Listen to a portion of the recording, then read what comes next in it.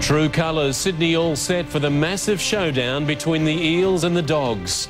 Thousands brave Melbourne's rain to cheer on their grand final heroes. Rising Essendon star Michael Hurley arrested over the bashing of a taxi driver. And the PM and his wife rub shoulders with America's first couple as G20 protests get ugly. This is Nine News with Mark Ferguson.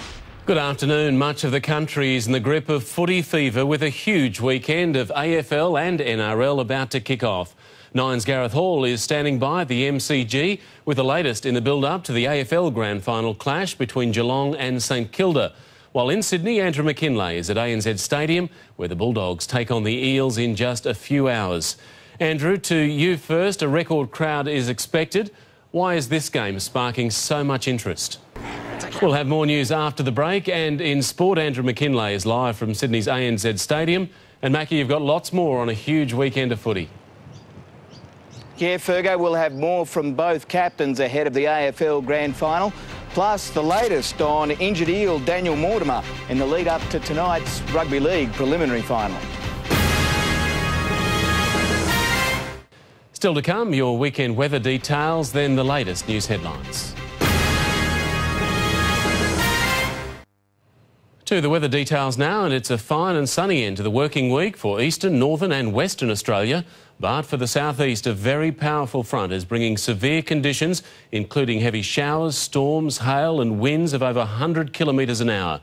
And some big dust storms in far western New South Wales, which have the potential to cover most of New South Wales and up to Queensland.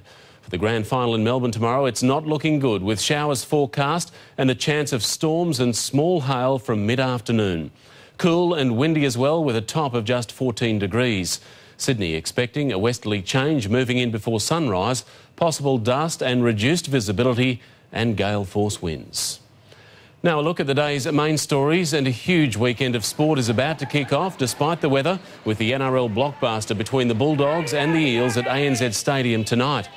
That'll be followed by the AFL Grand Final between St Kilda and Geelong at the MCG tomorrow afternoon. Today, thousands pack the CBD for the annual parade. And rising Essendon star Michael Hurley has been arrested for allegedly assaulting a taxi driver following a night out in Melbourne. That's Nine's afternoon edition. Our next major bulletin is at 6, and for Sydney, there'll be an hour long special. But that's the end of my innings here at Channel 9. Thanks for your support over the years. I wish you all the very best. Bye for now. Bye.